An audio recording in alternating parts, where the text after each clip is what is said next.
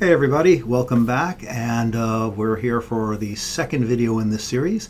And today we're going to talk about org mode. Um, we're not going to really get deep into org mode. Org mode is huge. I use it for making presentations, documents. Um, I'm a teacher, so I make lesson plans with it. Um, I compose emails with it. You can uh, support coding with it. Um, it's an amazing, amazing, amazing package. It's it by itself is a reason to use Emacs. Um, but right now, I just want to show you the basics because whenever uh, we when we start doing real Emacs configurations and start learning how to use Emacs efficiently starting in the next video, um, I'll write up some notes and those notes are going to be in the form of an org mode file. Um, I will put a link on the blog to a video done by Harry Schwartz. He's an Emacs guy who is up in Boston right now. He had a really nice presentation that was recorded on org mode. It's about an hour, um, but it shows a lot of the things you can do with it. So it's, it's kind of cool. Um, I would definitely recommend taking a look and we'll cover some of those specifics um, later on. So uh, I also mentioned that in addition to the blog posts, we're going to have stuff up on GitHub. So uh, here it is. If you don't know GitHub, uh, don't worry about it. But um, I will have links to this from the blog so you can grab the init file. Um, and I just made a couple of changes. So let's take a look at those.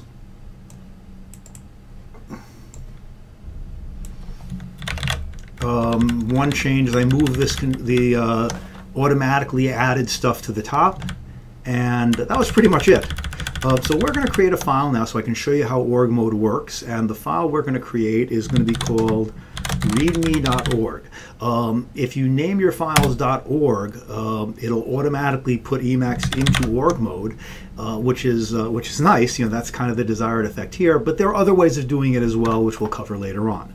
And org mode, first and foremost, is a um, it's an outlining tool, and you make your outline uh, using asterisks to show levels. So maybe uh, we'll have lesson one, and then we'll have some text. Less uh, um, introducing the series and uh, setting up the package manager, and so we'll have a little uh, little list under it, and we'll say something like, um, you know, uh, show Melpa. We showed Melpa and um, uh, set up Melpa. Um, installed try use package. Installed try and installed which key. And uh, this is going to be lesson two, and lesson two is going to be show some org mode, and we'll just uh, like uh, just uh, review init.el, which we did, and then the next thing we'll do is um, set up readme.org. I'll fill in the rest of this when um, after the video. Um, but let's say we have another topic here, and we'll just maybe say links, and uh, here's going to be a link to my blog, and um, the way we specify links is there's a special key we can do Control C, Control L. It asks for the link. I'm going to give um, cestlaz.github.io. It's just my blog link, and the description is here's my blog, um, just to have something there. Now. Uh, that looks like it's a link, but it's actually plain text. If I backspace, you'll see it's just made up in text. I could have just typed this without the special keys, put that square bracket back in. Uh, but here's the cool thing. I can hide or I can show different parts of this. Um, maybe we'll have this, let's put a couple other things. This will be part one.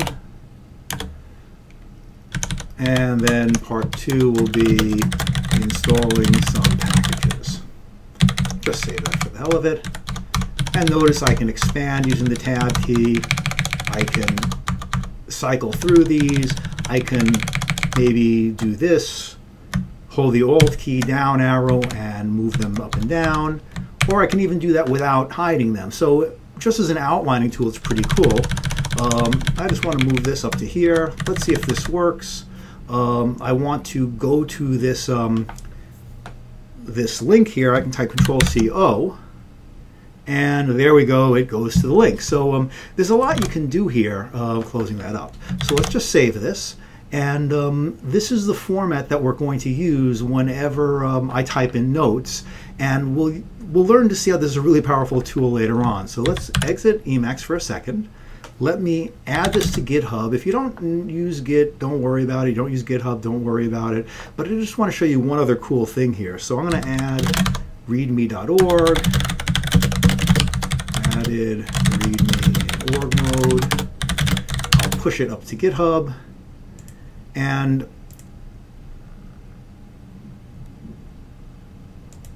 it, ah, there we go, uh, readme.org. But notice that um, GitHub is set up to automatically show README files. Here's that link to my blog. I will open it in another tab. Uh, but notice that it shows it really nice. It, it, really formats it. So that's kind of a nice little feature. So let's just make a couple other little modifications here. I'm going to go back into that README file. And notice that it um, it showed it all collapsed here. And I don't like that. Um, oh, I sometimes like it. But in this case, I'd like it to open up all expanded. So I can put a special control up here called startup and I'll, I'll put show all. And there are various options that you can put in for this. And now if I reload the file, and I could reload it by exiting Emacs and coming back in, but I can also use the command revert buffer. Escape X or revert buffer, and now when it loads the file, it loads it all, all open. And the other one I'm going to show is hide stars. Save it, revert buffer. And that just kind of makes it a little bit nicer because um, you end up getting, you know, it, it just basically hides the extra stars. It makes it look like more of an outline. And one last thing I'm also going to show is there's a cool package.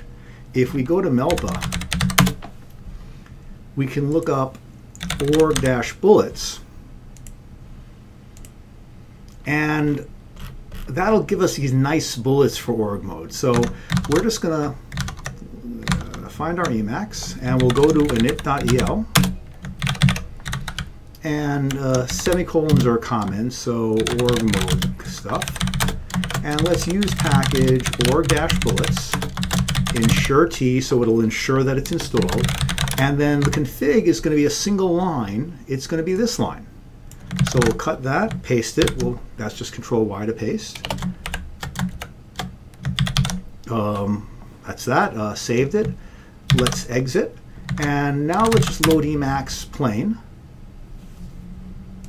And let's load readme.org and we get the nice bullets here. Um, so that's the very basics of org mode. Just wanted to show you this so you know what's going on when you see this format. Um, next video, we're going to probably talk about a little bit about eLisp just so you understand how these configurations work.